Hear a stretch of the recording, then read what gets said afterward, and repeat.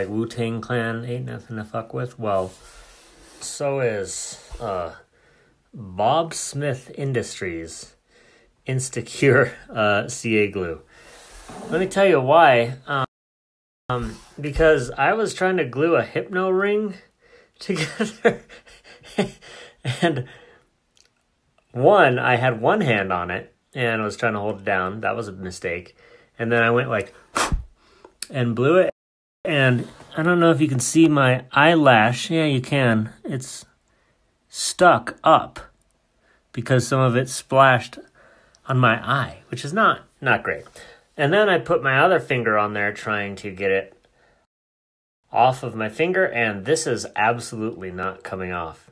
So I was able to, you know, turn the phone on, which is good because I thought it was hilarious. Ooh, I'm peeling some of my skin off now.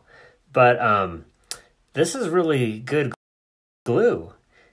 Uh, but it's uh, definitely not to be trifled with. So I'm gonna get some acetone, maybe. Um,